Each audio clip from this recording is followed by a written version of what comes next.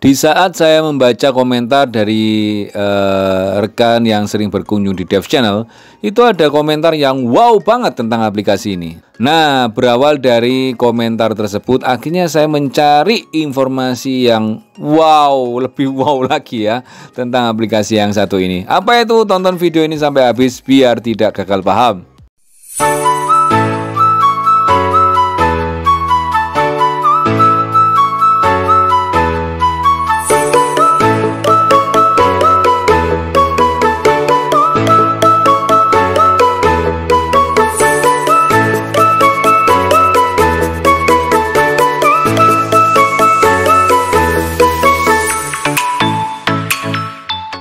Assalamualaikum warahmatullahi wabarakatuh. Selamat pagi rekan-rekan pecinta aplikasi penghasil cuan. Kita bertemu lagi bersama saya di Dev Channel. Bagi Anda yang baru berkunjung di Dev Channel Jangan lupa like, subscribe, dan nyalakan loncengnya Supaya Anda selalu mendapatkan info-info terupdate dari Dev Channel. Dan apabila channel ini juga bermanfaat buat rekan Anda, teman-teman Anda, para pecinta aplikasi penghasil cuan juga Tidak ada salahnya informasi ini Anda share kepada mereka Supaya mereka juga mendapatkan info-info terupdate dari Dev Channel Enaknya lagi, Anda tidak perlu repot-repot menjelaskan tentang aplikasi yang sedang kita bahas pada saat ini.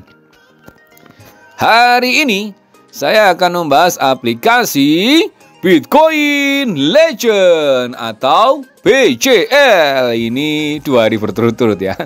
Sebenarnya tadi itu saya membahas aplikasi BCL juga, tapi yang lain, maksudnya yang lain itu saya mendapatkan informasi yang lain. Cuman ini uh, malam ini saya di saat mau bikin kontennya itu buat nanti sahur ya, uh, buat ini edisi sahur.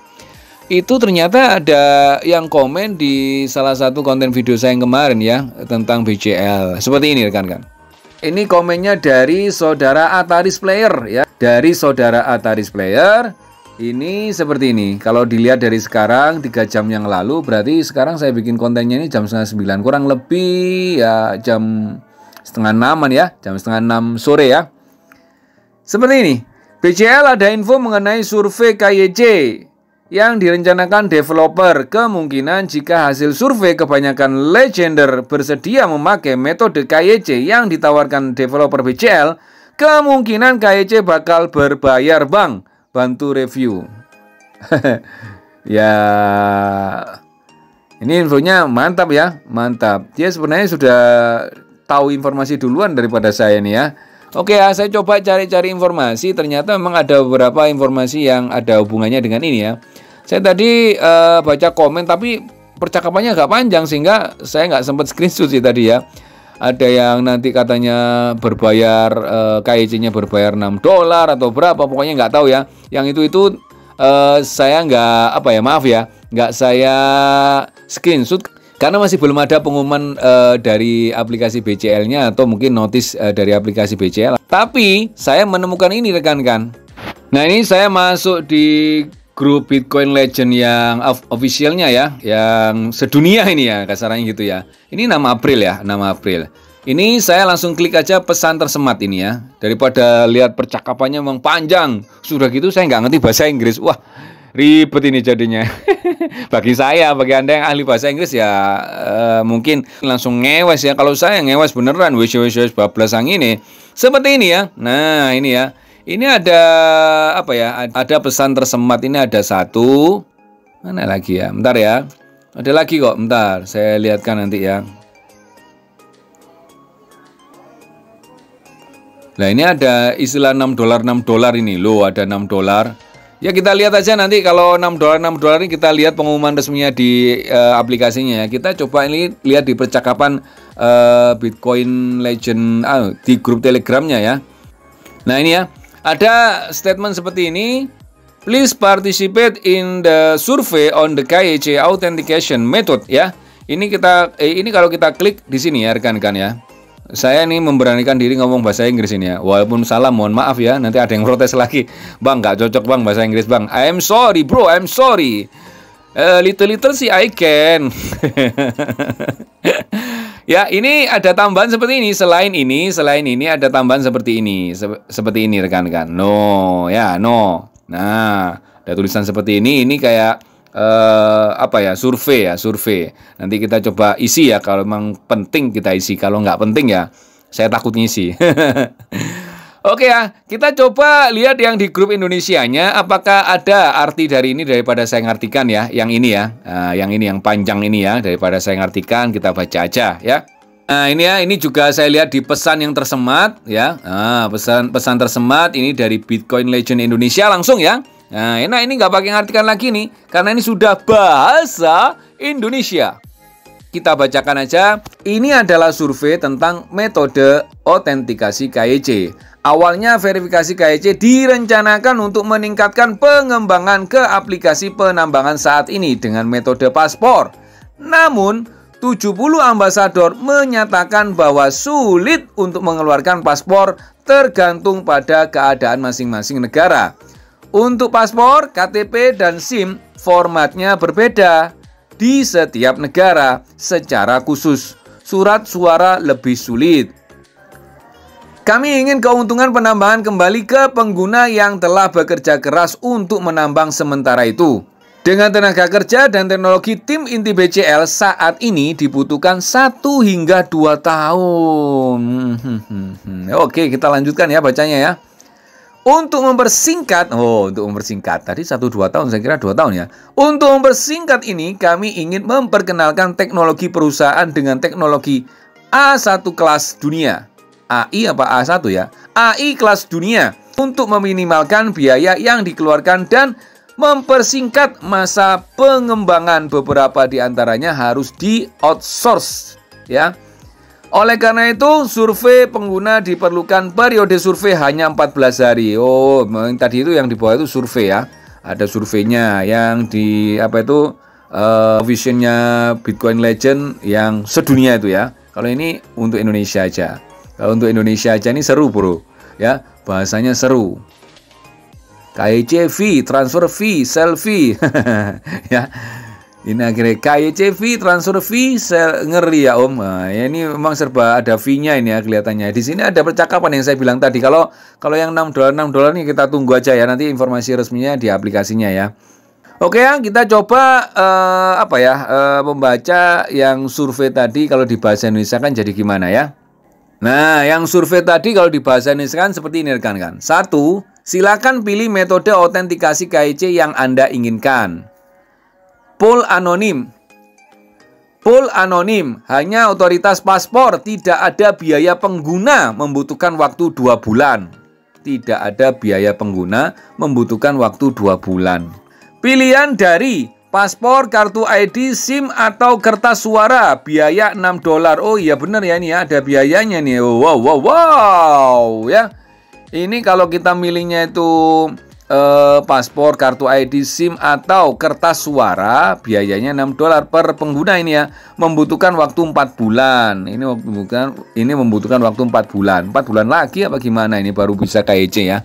Oke ya ini juga menjawab pertanyaan rekan-rekan yang kemarin pada saat saya membacakan informasi dari eh, BCL itu ya dari aplikasi BCL. Oke ya kita lanjut ya. 6 dolar bro. Dua, berapa usia untuk verifikasi KEC? Ini dari usia 12 dengan syarat bahwa game Metaverse masa depan akan dimainkan menggunakan kartu hero NFT. Pool anonim lebih dari 12 tahun, lebih dari 15 tahun, lebih dari 18 tahun, lebih dewasa. Seperti ini rekan-rekan ya. Ini surveinya. Gak tahu ya ini diisi apa enggak ya. Kalau ngisi Anda mau ngisi yang mana ini ya? mau ngisi yang ini atau yang ini? Kan wajib diisi semua ya. Kalau yang ini ya, aduh, duh, duh, duh, duh. Aduh, duh, duh, duh, duh, duh. Kau tak percaya. Aduh, duh, duh. Ini harus diisi ya. Milih salah satu kelihatannya ya. Kalau lihat dari uh, tampilannya ya. Ini, ini kalau diartikan bahasa Indonesia gini ya. Coba saya klik lagi ya. Iya kan, ini kalau di uh, apa itu tulisan aslinya ini kita suruh milih ini ya. Ya, ini suruh milih antara dua ini ya. Kalau seperti ini paspor, ini waktu dibutuhkan waktu dua bulan, kita klik. Tapi kalau kita uh, eh, KTP, terus SIM dan paspor, ini dibutuhkan kurang lebih 4 bulan, tapi, tapi, tapi, tapi harus ada 6 dolar bro. Anda pilih yang mana? Saya nggak punya paspor. Anda punya paspor apa enggak? Kalau Anda punya paspor silahkan pilih ini. Kalau Anda nggak punya paspor, pilih ini aja bro. 6 dolar bro. Ya, ya mudah-mudahan nanti sekali KIC langsung lolos ya. Terus uh, itunya apa itu BCL-nya harganya mantap ya nggak jadi masalah bro. Terus ini pertanyaan yang ke, eh, yang berikutnya ini what is the age for KYC verification ini ya. Ini uh, usianya 12 tahun, 15 tahun, 18 tahun, lebih tua lagi.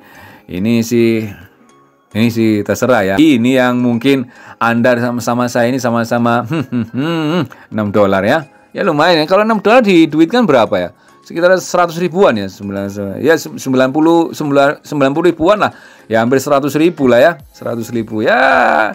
Ini saya nggak menganjurkan kan tapi saya juga nggak maksakan kan kalau kalau sudah KEC berbayar seperti ini, ya ini eh, apa ya?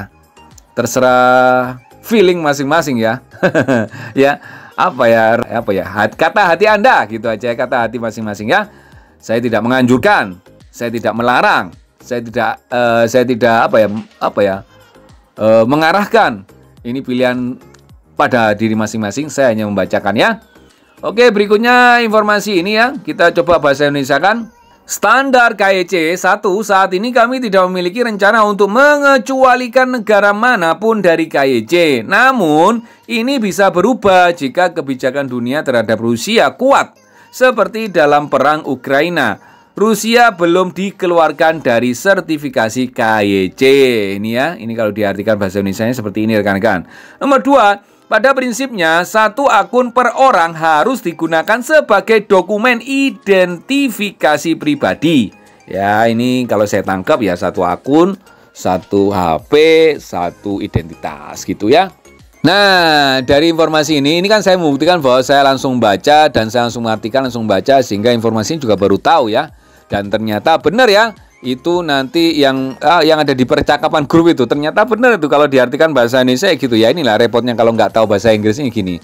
E, baru tahunya setelah di apa ya diterjemahkan ditranslate baru tahu ternyata ada e, pilihan. Kalau kita ini memang e, apa itu KIC-nya nanti pakai KTP, pakai SIM dan paspor pilihannya ya. Kalau ada tiga-tiganya itu berarti itu waktunya membutuhkan empat bulan dan dan dan dan harus menyiapkan 6 dolar. Ya 6 dolar 6 dolar. Tapi kalau kita tetap di uh, apa itu paspor saja itu membutuhkan waktu dua bulan dan tidak ada embel-embel dolarnya tidak ada embel-embel fee-nya ya. Nah kalau saya kalau seandainya saya disuruh milih saya nggak punya paspor bro. Tapi disuruh bayar kira-kira saya mau apa enggak ya? Itu mungkin yang jadi pertanyaan semua rekan-rekan. Dan saya tidak akan menjawab karena jawaban itu adalah hak prerogatif masing-masing Gitu ya rekan-rekan, saya tidak bisa ngomong banyak, eh, saya tidak bisa mereview ini tentang harus bayar atau tidak karena itu memang hak pribadi masing-masing. Tapi terima kasih ya kepada saudara Ataris Player yang sudah memberikan informasi ini sehingga yang awalnya saya tidak apa ya, saya tidak mau up ini karena saya tidak tahu, saya mau up yang lain karena ada informasi bagus ini buat BCL juga sebenarnya. Cuman nggak saya up dulu lah. Ini biar rekan-rekan fokus sama informasi ini dan biar ada jeda waktu untuk memikirkannya.